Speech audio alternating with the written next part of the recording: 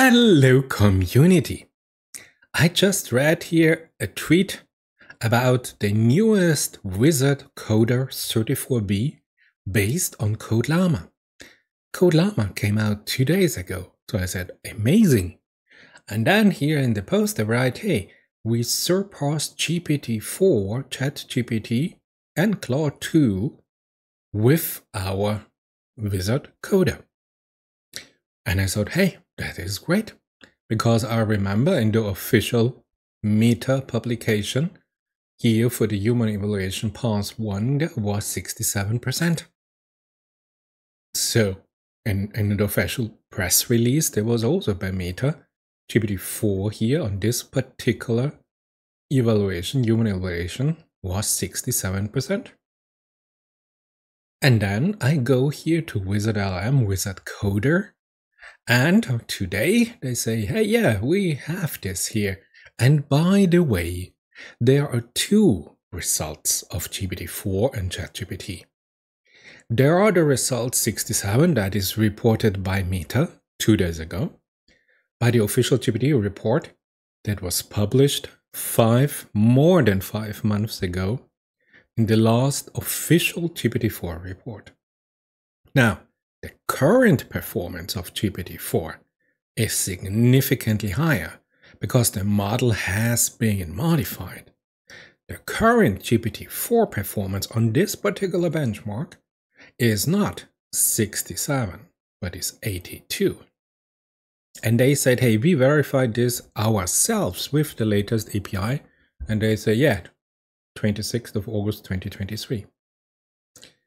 And then I started to get a little bit angry with Meta. You know what they did not want you to see is published on August 24th that the performance, the current performance of GPT-4 is 82. So compared to their Code Llama model, 33, 36, 48, I mean, nobody expected Code Llama to beat GPT-4. But to have a official company meta presentation by Facebook making this here and referring not to the actual performance data of GPT-4 is a non-professional way of presenting here the company. So, in my last videos, please notice that the data that Meta published are not the actual data valid for August 2023, but the data that are more than five and a half months old. So Meta published the old GPT-4 data. Great. But there is something positive. Because I went here, you see GitHub, to this repo where they have this new. So please have a look. And as you can see, just four hours ago, they did their effort and compared a lot of coding for this particular benchmark dataset.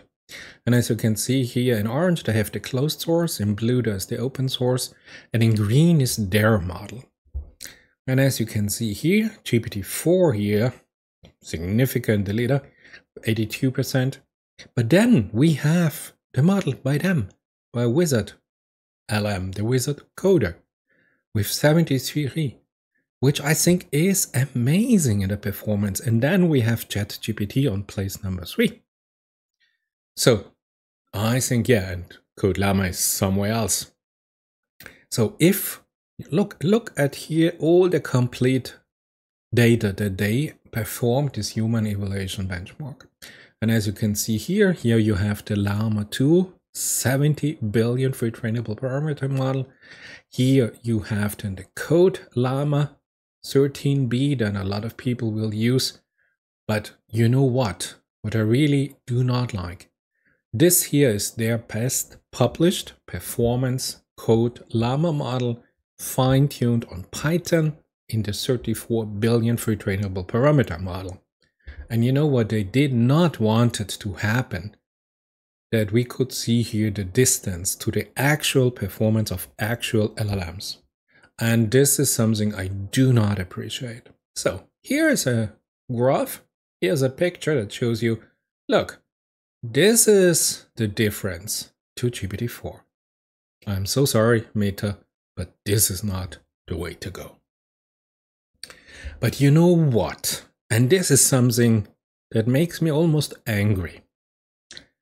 Just two days later, after Meta published the Code Llama Python 34b model, some open source community member, some absolute genius coder, took the Code Llama and did a fine tuning on Python in a completely different way that Meta did it and achieved a jump from 53 to 73%. 20 percent point jump is amazing in a benchmark. And it just happens two days later. And you know what? Since this is now open source, Meta will just take it.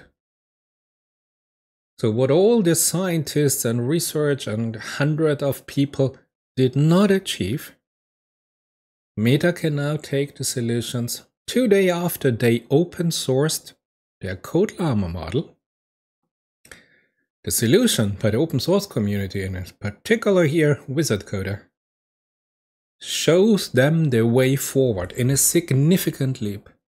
And here's the creator of this. And I will make a video in the next weeks about here Wizard LM, powered by this Evolve instruction methodology. I will make a deep dive. I want to understand what is so genius that he outperforms even just a published model by all the scientists from Meta AI. So here we are now, Wizard Coder Python. And I have write a Python code for sorting a list. Sorted function, sort method, list sort method with a key parameter. This is easy. So our Wizard Coder Python 34 billion tree trainable parameter.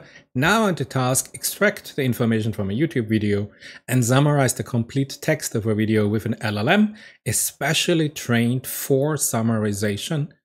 And here we have the result. Okay, this is the code. We have Google authentication. Okay, yes. Then we have the credential for our YouTube API client. Okay. Then we have the video ID. Yeah, good. Okay. Remove extra white space. Oh yeah, and then we have summarized the complete text with a language model, model summarization, model summarize.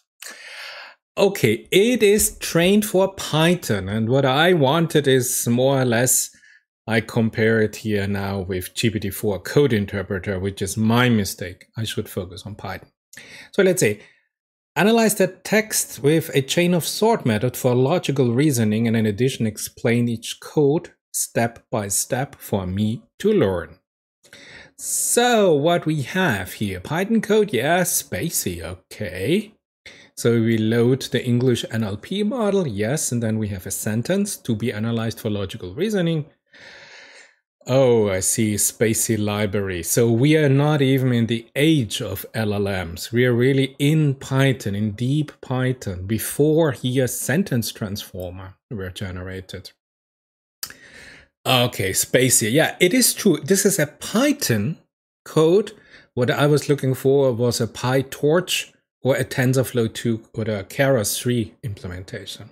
Okay, so what about write a Python code for extracting all web link from an online web page? Let's see this. This should be something really in Python without anything else. And here we go. Yeah, beautiful soup. That sounds good to me. Pulling data out of HTML and XML files, yeah. Manipulate find all method to extract all the links from a web page. Yes, here's a request, get URL, beautiful soup, find all A, yeah, print the links. Okay, beautiful, succeeded. So you see, this is it.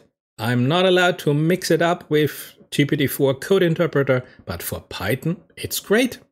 So there you have it, Wizard Coder Python 34b. Much more efficient and much better performance than any code llama model you can find. Give it a try, you will be surprised.